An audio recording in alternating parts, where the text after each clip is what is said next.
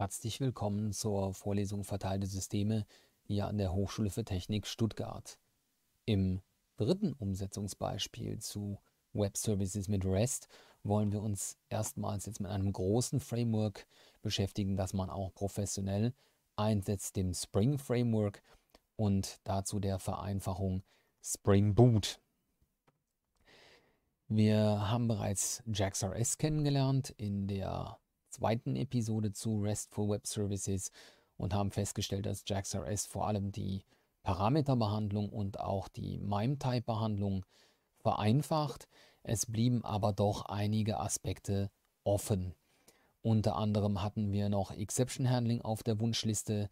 Wir würden auch gerne unsere Schnittstelle jetzt irgendwann mal dokumentieren können, zum Beispiel mit äh, OpenAPI, das ich schon erwähnt hatte.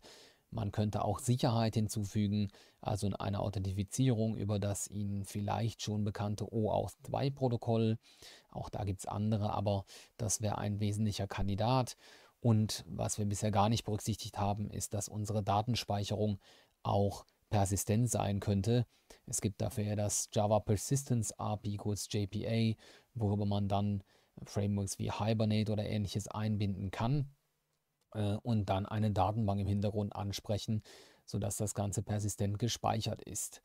Wir werden das nicht alles hier behandeln können, aber zu einzelnen Punkten zumindest kommen. Äh, Alternativen wären hier, dass man entweder ein Framework pro Aspekt, die ich hier oben genannt habe, einsetzt oder ein umfassendes Framework einsetzt. Und das ist der Weg, den wir dann auch gehen wollen.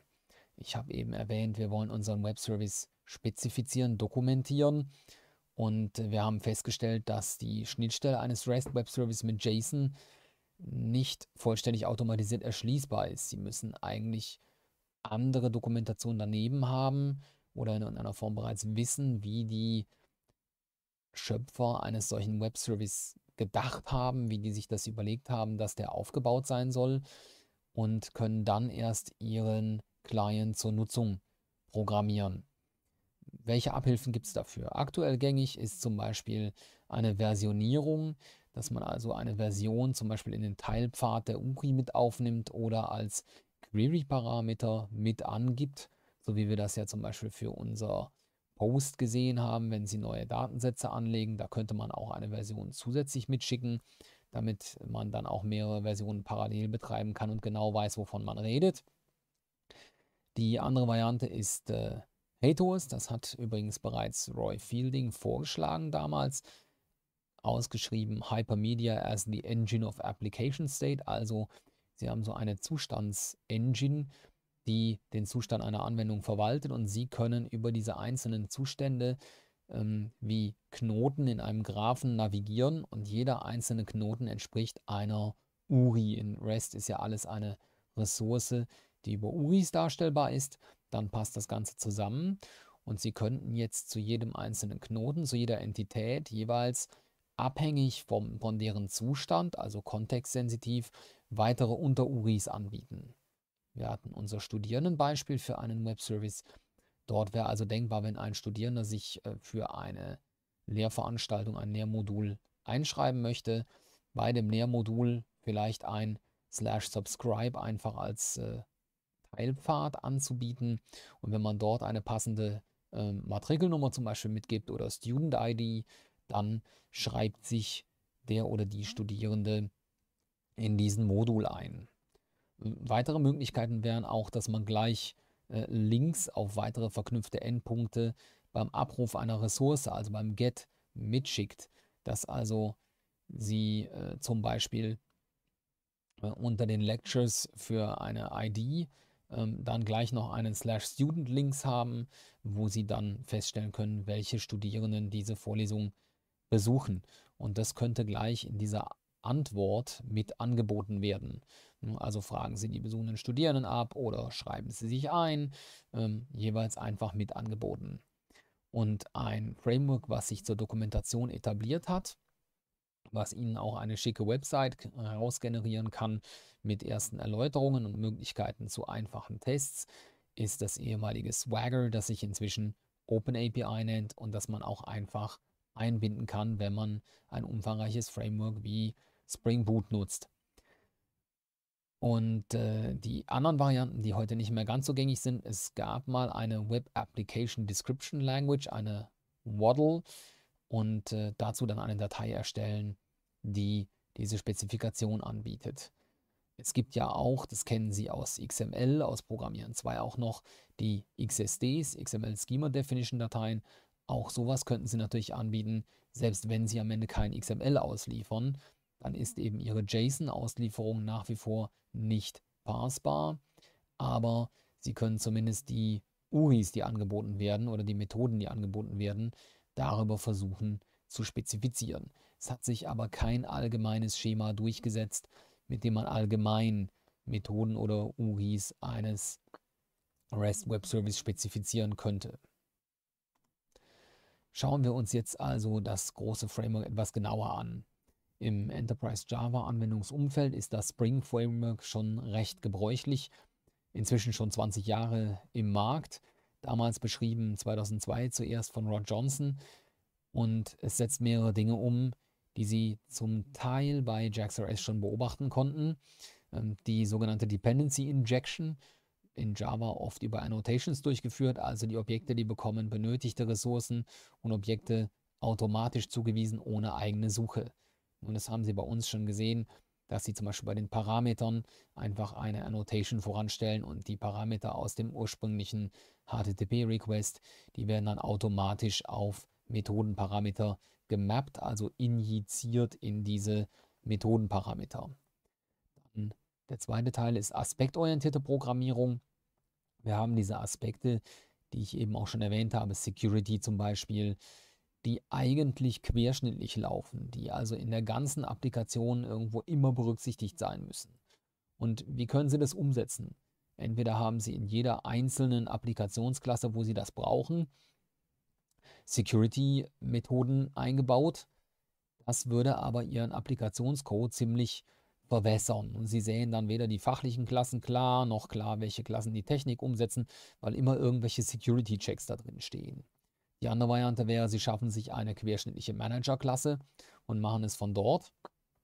Ähm, und die dritte wäre eben, Sie versuchen diesen Aspekt ganz rauszuziehen, denn dann müssen die Klassen auch nicht mehr irgendeine Manager-Klasse fragen jeweils, auch diese Fragen durchsetzen ja ihren Code, sondern ähm, sie nehmen einfach diesen Aspekt und injizieren im Grunde den ganzen Aspekt in den jeweiligen Code. Dazu gibt es äh, das ursprüngliche Framework Aspect-J, was in Java sich als erstes richtig verbreitet hat. Ähm, und in Spring nochmal ein Spring AOP, also Aspect-Oriented Programming. Ähm, es gibt dann, weil manche dieser APIs recht komplex sind, Templates, die die Nutzung einiger APIs vereinfachen. Zum Beispiel auch das Exception Handling wird vereinfacht und das werden wir dann nachher auch noch sehen. Insgesamt wird dadurch POJO, also Plain Old Java Object Code, in verschiedenen Umgebungen lauffähig. Sie hatten früher Java-Applikationen, vielleicht wie Sie aus Programmieren 2 noch kennen, mit einer Swing-basierten GUI. Und diese Java-Objekte dahinter, diese fachlichen Objekte, die sind ja wesentlich langlebiger, wesentlich wertvoller als jetzt die einzelnen GUIs davor. Und wenn Sie jetzt überlegen, Sie wollen dann umsteigen auf Client-Server von einer fetten Swing-GUI, dann könnten Sie diesen Bojo-Teil, also diese fachlichen Entitäten, gleich weiterverwerten in einem Server oder auch in einer Client-Anwendung, wenn Sie dort zum Beispiel Kommunikationsresultate wieder zurückmappen möchten. Jetzt äh, Spring, wie schon erwähnt, ist recht mächtig. Dadurch kam dann der Bedarf auf, dass Entwickler einfacheren Zugriff wünschten und es kam der Aufstieg von Spring Boot. Sie sehen hier oben schon diese Website start.spring.io. Da können Sie den sogenannten Spring Initializer aufrufen, der Ihnen da fertige, vorkonfigurierte Pakete sozusagen herausgenerieren kann. Man hat vorher in Spring alles konfigurieren müssen und hat festgestellt, dass diese Konfiguration, ich hatte auch das Log4j-Beispiel schon mal gebracht, ähm, natürlich öfter dazu führt, dass Menschen das nicht richtig konfigurieren oder gar nicht konfigurieren. Und viele Entwickler hatten große Schwierigkeiten, dann ihre ersten Spring-Projekte an den Start wirklich zu bringen. Also hat man sich überlegt, mit Spring Boot setzen wir Convention over Configuration. Also es gibt einfach einen sinnvollen Standardwert, mit dem wir mal starten. Und nur wenn Sie wirklich etwas anderes brauchen, wünschen, dann konfigurieren Sie etwas anderes. Dieser Initializer, der erlaubt Ihnen, wie Sie hier rechts auch sehen, gleich eine Auswahl von Abhängigkeiten in der rechten Spalte unter Dependencies. Dort werden wir für unser Projekt, um die maximale Vergleichbarkeit mit JAX-RS, was wir vorher behandelt haben, herzustellen, eben Jersey auswählen als einziges. Mehr brauchen wir dort erstmal nicht. Beim Projekt oben sollten Sie wählen, dass Sie ein Maven-Projekt nehmen. Maven als äh, Build-Framework setzt ja diese zentrale pom.xml-Datei voraus. XML-Dateien können Sie aufgrund Ihrer Kenntnisse aus Programmieren 2 recht gut lesen und wie man dort weitere Abhängigkeiten einfügt, sehen Sie dann auch und Sie können sich auch angucken, was dieser Initializer dann generiert. Sie wählen als Sprache natürlich Java. Bei Spring Boot würde ich jetzt auf die stabile Version gehen hier, also keine Snapshot oder Release Candidate Versionen wählen, dort dann die größte. Bei Group tragen Sie im Grunde den Oberpaketpfad ein. Artifact ist das, der letzte Paketname in Ihrem Pfad drin. Den Namen können Sie dann einfach so beibehalten. Sie dürfen noch eine Description eine Beschreibung eingeben und Sie sehen ja dann unten, dass sich dieser Gesamtpaketpfad zusammensetzt aus dieser Gruppe plus Artefakt.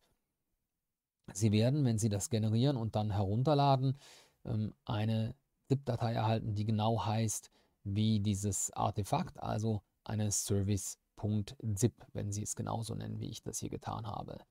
Beim Packaging hatten wir früher schon über Deployment in Tomcat gesprochen und dass man für automatisiertes Deployment später eigentlich immer gerne eine War-Datei hätte. Also habe ich hier einfach mal War auch eingestellt. Und bei Java empfehle ich ja grundsätzlich auf die LTS-Versionen zu setzen. Deswegen hier die Version 17 eingestellt. Ähm, was Ihnen der Initializer auch vereinfacht. Er kommt dann gleich mit einem ganzen äh, Spring Boot Starter Paket. Es werden also die Abhängigkeiten auch für Komponenten wie Tomcat, eine PostgreSQL-Datenbank und so weiter ähm, leicht einbindbar und Sie werden sehen, dass der Spring Boot gleich einen integrierten kleinen Tomcat schon mitbringt im Projekt. Für die Programmierung, das werden Sie dann hier sehen, können Sie mit rein schon der Jersey Dependency, um es also vergleichbar zu halten zu JAX-RS, auf mehrere weitere Annotationen zugreifen. Die Hauptannotation ist die Annotation add rest controller, die Ihnen die Möglichkeit gibt, ähm, zentral in einer Controller-Klasse die Anfragen zu behandeln. Und die Anfragebehandlung läuft in Spring Boot über Add Request Mapping Annotationen und Sie können dann dort einen Type angeben, Type gleich Get, Type gleich Put, Type gleich Post und so weiter. Es gibt für diese Request Mapping auch eine Abkürzung. Sie können also für ein Request Mapping mit Type gleich Post auch einfach Add Post Mapping schreiben für ein Request Mapping mit Type gleich Get, dann einfach auch Add Get Mapping und so weiter. Und all diese Mappings nehmen über Parameter ähm, der Annotation, also in runden Klammern, dann verschiedene Dinge entgegen.